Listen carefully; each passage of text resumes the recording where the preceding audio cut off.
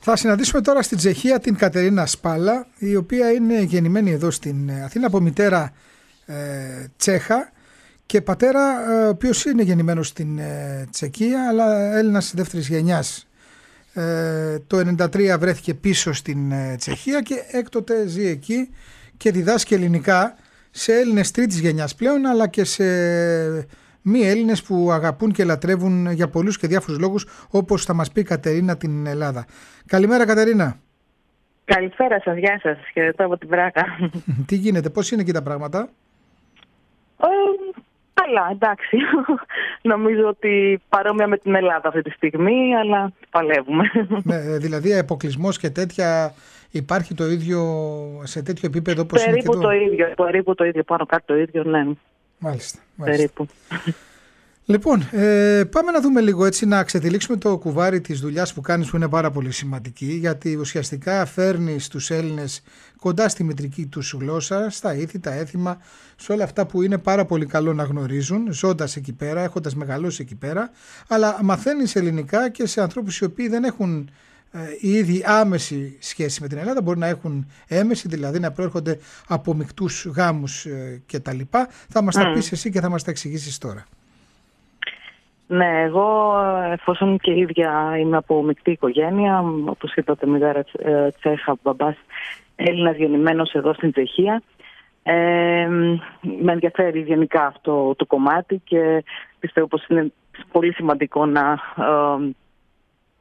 να παραμείνει εδώ πέρα ακόμα το ελληνικό στοιχείο το οποίο δυστυχώς σιγά σιγά εξαφανίζεται αν μιλάμε δηλαδή για τους, για τους απογόνους των πολιτικών προσφύγων.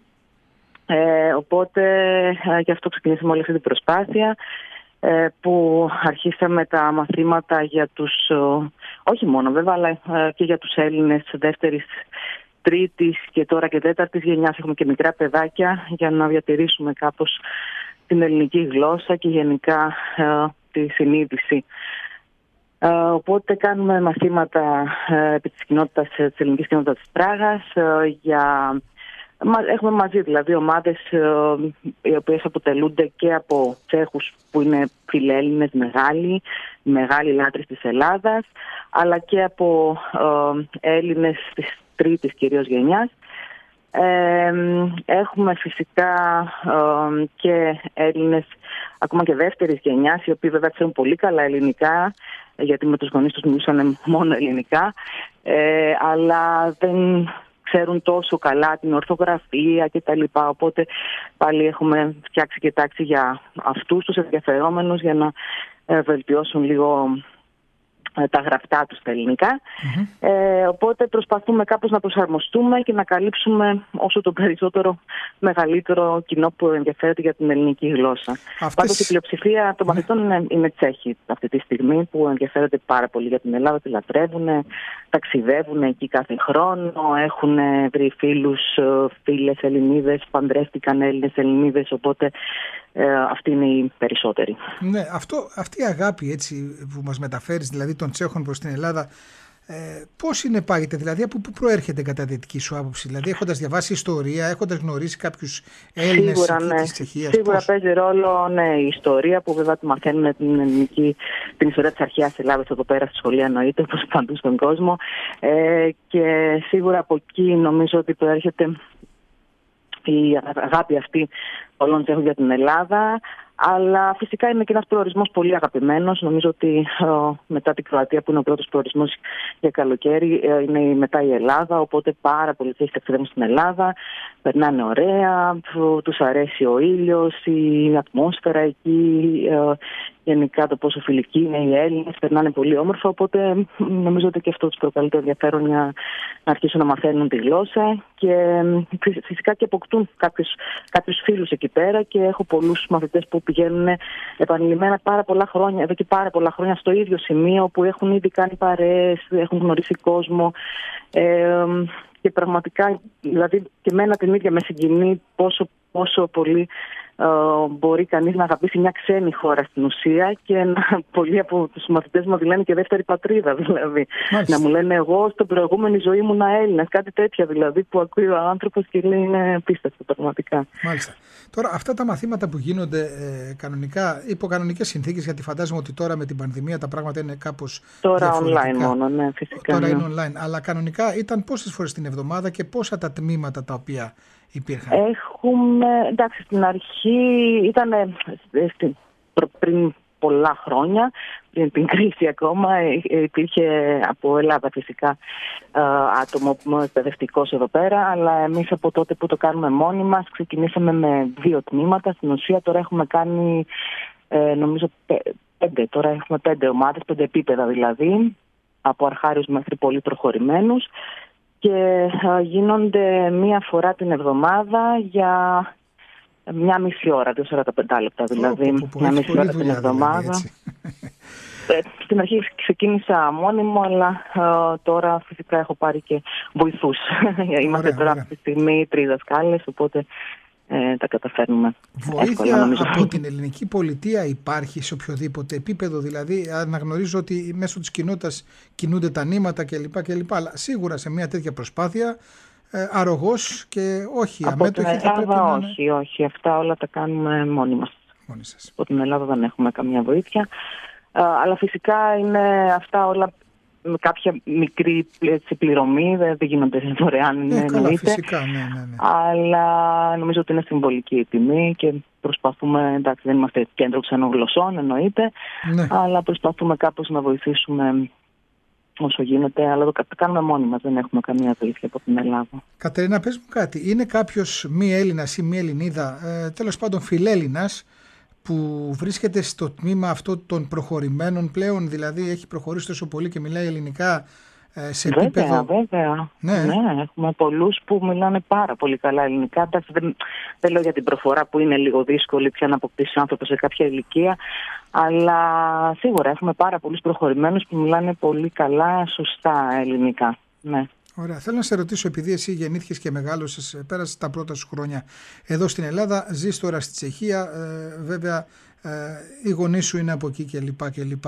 Πώς mm-hmm. είναι οι διαφορές που υπάρχουν ανάμεσα στις δύο χώρες, έτσι όπως τις έχεις βιώσει oh, και μεγαλώνοντα. Είναι θέμα για πάρα πολλή ώρα. είναι πολύ δύσκολο να το πω με λίγα λόγια. Δηλαδή στους ανθρώπους, στις χώρες, σε, τι, σε σε επίπεδο, σε επίπεδο, εντάξει, να το πιάσουμε σε επίπεδο ε, κρατικής οντότητας. Η νοοτροπία δηλαδή... είναι εντελώς διαφορετική εννοείται. Ναι. Ε, των ανθρώπων. Ε, υπάρχουν πάντα αυτό με, ρωτά, με, με ρωτάνε όλοι. Όλοι έτσι. Ε, γιατί ασχολούμαι και με τον τουρισμό, είναι ξεναγός και όλοι οι τουρίστες αυτό με ρωτάνε πάντα. Πού είναι καλύτερα και τι διαφορές υπάρχουν. Ο τρόπος ζωής. Είναι το... πάρα πολύ δύσκολο. Α είναι... Ας το πάρουμε για τον τρόπο ζωής, ας πούμε. Μια καθημερινή ημέρα εκεί στην Τσεχία. Πόσο διαφέρει Ωραία, από μια ημέρα εδώ στην Ελλάδα; Ε, γενικά οι Τσέχοι, εντάξει, ως άνθρωποι είναι πιο κλειστοί σίγουρα, πιο έτσι οργανωμένοι. Ε, είναι σίγουρα λιγότερο φιλικοί από τους Έλληνες, λατρεύουν τη φύση, ε, αυτό είναι μάλλον έτσι, μια διαφορά γιατί εδώ πέρα ε, λατρεύουν πραγματικά τη φύση, προσπαθούν πάντα να βγαίνουν από τις πόλεις, να πηγαίνουν πεζοπορία και ποδήλατο κτλ. Ε, έχει πολύ πράσινη η Τσεχία φυσικά και αυτό βοηθάει, λατρεύουν τα ζώα, είναι πολύ φιλόζωοι, ε, είναι έτσι ένας οργανωμένος, ήρεμος λαός, θα έλεγα, μοιάζουν με τους Γερμανούς αρκετά στην οτροπία δηλαδή και στην καθημερινότητα θα έλεγα ότι μοιάζει πολύ με τη γερμανική που μπορεί να γνωρίζουν οι Έλληνες περισσότερο. Είναι εκπομπή Ωρα Ελλάδα, στο μικρόφωνο Νικόλας Αγγελίδης, Τέλειο Καμπουρόπουλος στη ρύθμιση του ήχου και Κατερίνα Χούμπα στη δημοσιογραφική επιμέλεια. Μιλάμε με την Κατερίνα Σπάλα στην ε, Πράγα και η Κατερίνα θέλω να σας πω ότι έχει σπουδάσει ελληνική και σέρβικη φιλολογία και έχει ιδιαίτερη λατρεία, μας το πέταξε πριν, αλλά έχουμε κάνει και ρεπορτάζ εμείς, έτσι. Έχουμε κάνει την έρευνά μας, έχει ιδιαίτερη λατρεία στα ζώα και μάλιστα κατάφερε να κάνει μια ολόκληρη περιπέτεια εκεί και να περάσει ε, εντός ε, τσεχικού έδαφου, εδάφους ένα αδέσποτο γατάκι που είχε βρει στην ε, Σερβία, καλά τα λέω. Πού βρήκα αυτή την πληροφορία. Όχι γατάκι, σκυλάκι κιόλας. Α, εντάξει, είδες είναι, είναι μισή. Πρέπει να τη διπλοτσεκάρω από εδώ και πέρα την πληροφορία. Για πες μας λίγο για την αγάπη σου για τα ζώα, γιατί υπάρχουν πάρα πολλοί φιλόζωοι φυσικά εδώ που παρακολουθούν την εκπομπή και εμείς οι ίδιοι είμαστε φυσικά, έτσι. Ε, δεν ήξερα θα μιλήσουμε γι' αυτό βέβαια, αλλά ναι. Ε, γιατί στημένη θα είναι εκπομπή, οι, Οι περισσότεροι πιστεύω ότι αγαπάνε τα ζώα, γιατί πραγματικά εδώ θα δείτε ότι δεν ξέρω από τους φίλους μου τουλάχιστον περισσότεροι έχουν ε, κάποιο ζώο στο σπίτι, γάτα, σκύλο ή και τα δύο και τα και τρία. Ε, οπότε αυτό είναι κάτι το νορμάλ εδώ πέρα. Όλοι έχουν σκύλους γάτες, τα έχουν ως μέλη της οικογένειας. Εγώ βέβαια ξεκίνησα έτσι, έφερα από τότε από Σερβία ένα δέσποτο που βρήκα και φοβήθηκα όταν πατήθηκα ένα αυτοκίνητο γιατί ήταν δίπλα σε μια, ένα πολύ έτσι, κεντρικό δρόμο. Και κατάφερα να το φέρω εδώ πέρα, ε, αλλά και είχα και γάτες μετά, αλλά μετά τα έδωσα όλα στου γονείς μου γιατί δεν μπορούσα μόνη μου βέβαια.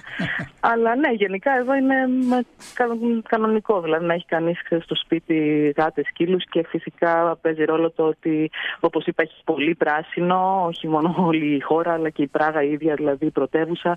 Έχουμε παντού δέντρα, πάρκα, δασάκια, οπότε έχει κανείς που να βγάλει το σκύλο έξω και φυσικά το βγάζουν πολλές φορές την ημέρα. Γι' αυτό και Λοιπόν. Όπω είπα, είναι μέλη της οικογένειας. Δηλαδή, δεν υπάρχουν αδέσποτα εδώ πέρα. Αυτό το πράγμα δεν υπάρχει στη Τσεχία. Καλά, αυτό είναι ελληνικό φαινόμενο. Α αφήσουμε λίγο, ας αφήσουμε λίγο την Πράγα και ας ταξιδέψουμε στη μεταμόρφωση, στο κιλκι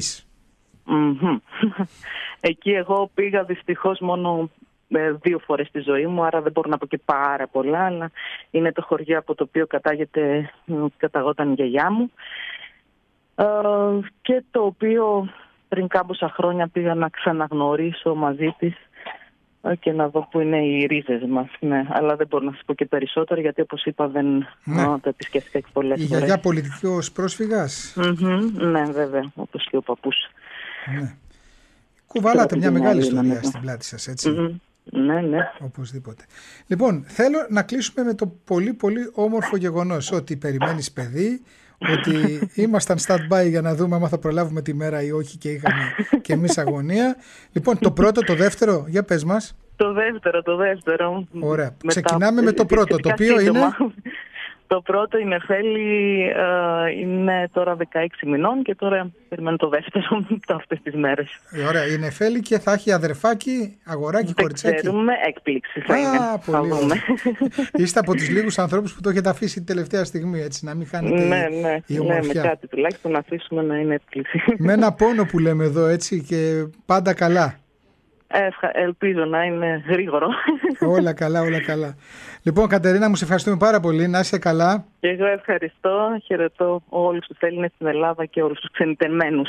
Αν θέλεις να ακούσεις τώρα, κάτσε να ακούσεις έναν Έλληνα που δεν είναι γεννημένος Έλληνας, αλλά είναι γεννημένος στην Ιγυρία ειναι πολύ περισσότερο Έλληνας από εμάς εδώ στην Ελλάδα. Δεν λέω για εσά που είστε στο εξωτερικό, γιατί και εσείς είστε περισσότερο από εμάς. Ο Σαμ Τσέκουας, σε πολύ λίγο από τη Νέα Υόρκη, είναι ο Έλληνας που έχει, ε, ο, ο Νιγηριανός μάλλον που έχει φτιάξει το μοναδικό ελληνικό εκδοτικό οίκο στη Νέα Υόρκη και το ελληνικό βιβλιοπωλείο στη Νέα Υόρκη.